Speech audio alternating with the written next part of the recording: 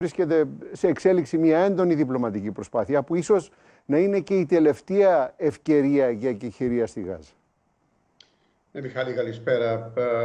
Ε, πολλοί υποθέτουν αυτό, αλλά θα έλεγα ότι θα συνεχιστεί η προσπάθεια, διότι πρέπει πάση θυσία να μην γίνει αυτή η μεγάλη επιχείρηση, όχι αυτή που διεξάγεται τώρα, η πολύ μεγάλη επιχείρηση, η χερσαία επιχείρηση του Ισραήλ ε, στη Ράφα. Ο...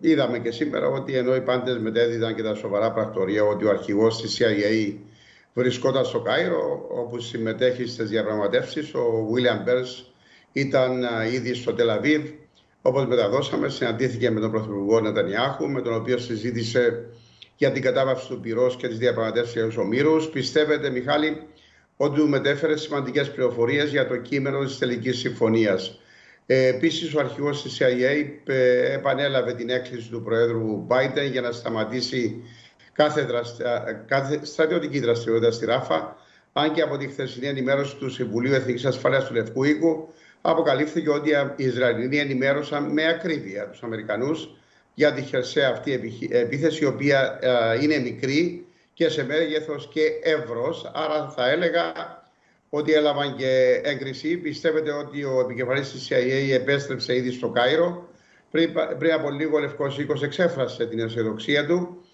για την πιθανότητα κατάληξης σε συμφωνία μεταξύ του Ισραήλ και της Χαμάς. Ε, μίλησε η εκπρόσωπος, η ίδια η εκπρόσωπος, η οποία εξέφρασε την πίστη ότι το χάσμα μεταξύ των δύο πλευρών μπορεί να μειωθεί, μπορεί και να εξαφανιστεί όπως είπε. Η κυρία Καρίζα Μπιέρ είπε στους δημοσιογράφους που ταξιδεύουν με τον κύριο Biden στο Air Force One ότι μια στενή αξιολόγηση των θέσεων των δύο πλευρών που έκανε ο Λευκός Οίκος υποδηλώνει ότι θα πρέπει να είναι σε θέση να καλύψουν οι πλευρές το χάσμα, το υπάρχον, είπε, το εναπομείναν χάσμα. Επομένως, θα συνεχίσουμε να υποστηρίζουμε αυτή τη διαδικασία. Η εκπρόσωπος πρόσθεσε ότι για την κυβέρνηση του κ. Biden είναι ύψιστη προτεραιότητα η αύξηση της βοήθειας στους Παλαιστίνιους και η επιστροφή όλων των, των ομήρων και επανέλαβε ότι θα συνεχίσουμε να είμαστε αισιόδοξοι θα συνεχίσουμε να το έχουμε αυτό ως προτεραιότητα, εννοεί τη Συμφωνία Ισραήλ-Χαμάς.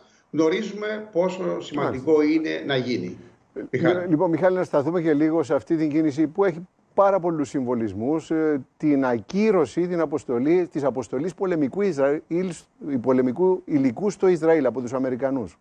Ε, μίλησε γι' αυτό ε, επίσημα και δημόσια ο Υπουργός Άμυνας ο κύριος Όστιν ανακοίνωσε ότι η απόφαση για αναστολή της παράδοσης του φορτίου στο Ισραήλ ελήφθη από τον ίδιο τον πρόεδρο Μπάιντεν ε, λόγω της απόφασης του Ισραήλ για επίθεση στη Ράφα.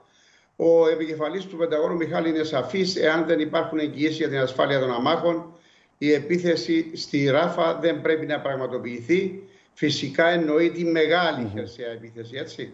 Ο κύριος Όστιν μίλησε στην αρμόδια επιτροπή της Γερουσίας και αποκάλυψε ότι είπαμε από την αρχή στο Ισραήλ ότι δεν θα έπρεπε να εξαπολύσει μια μεγάλη επίθεση στη Ράφα χωρίς να υπολογίζει και να προστατεύει τους, τους αμάχους. Αφού αξιολογήσαμε την κατάσταση, σταματήσαμε την αποστολή ενός φορτίου πυρομαχικών. Μιχάλη, το θέμα αυτό έχει επηρεάσει πολύ αρνητικά τις σχέσεις mm -hmm. τις τελευταίες ώρες. Οι Ισραηλινοί έθεσαν θέμα ότι τέτοιες ενέργειες ενθαρρύνουν τη Χαμάς και εξέφρασαν την ελπίδα ότι ο Λευκός θα συνεχίσει να στέκεται δίπλα στο Ισραήλ. Σε, ευχαριστούμε Μιχάλη την ολοκλήρωση της τεχνητής προβλήτας για τη